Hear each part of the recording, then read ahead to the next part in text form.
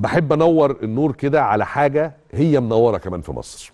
وزي ما أنا قلت لحضراتكم انه من كتر المشاكل ومن كتر المشاغل الواحد دايما ما بيشوفش الحاجات الحلوة والحاجات الكويسة واللي ماشية بشكل محترم في مصر. كل فترة بحب أقول إن في شمعة في الوسط الاقتصادي أو الصناعي أو التجاري الحقيقة تستحق إن إحنا نشوفها ونستحق إن إحنا نشيد بيها. قبل كده كلمتكم عن صناعات واقتصاديات وشركات محققة نجاح وأنا طبعا كل كلامي عن الصناعة الوطنية. لازم تبقى شركة مصرية عشان أشيد بيها وأبقى منتمي ليها وبدعمها.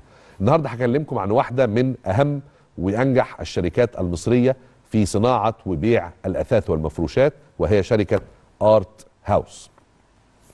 الحقيقة هذه الشركة مصرية حتى النخاع وبتصدر ومغطية السوق المحلي وسمعتها المحلية والعالمية ممتازة. أضف إلى ذلك إلى إنها فيها لمسة جمالية مختلفة. يعني لما تشوف ال- الشغل بتاعهم هتلاقوا فيه لمسة جمالية مختلفة تفرقك عن أي آه، موبيليا أو أثاث تاني بخلاف إن الموبيليا المصرية والأثاث المصري كنا بنقول دمياط المصرية ومش عارف إيه. إحنا الحقيقة ملوك الصنعة لو أجدنا وهم الحقيقة من المجيدين في هذه الصنعه وأنا كمان بحييهم لسبب تاني غير الجمال والذوق إن هم الحقيقة مقدرين إنه المستهلك له حق.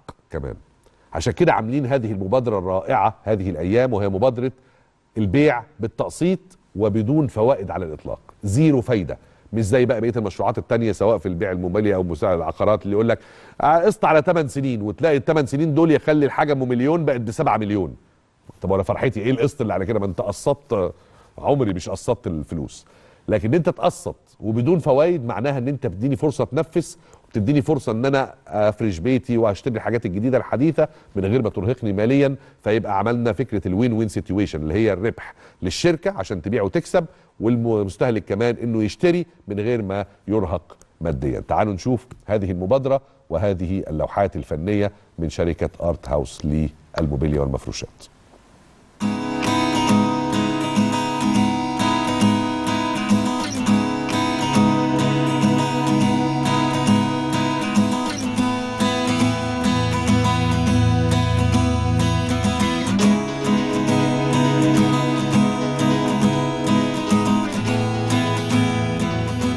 إحنا بنشتغل بالخامات والخشب الطبيعي عندنا تصميمات و design ات مختلفة عن السوق كله.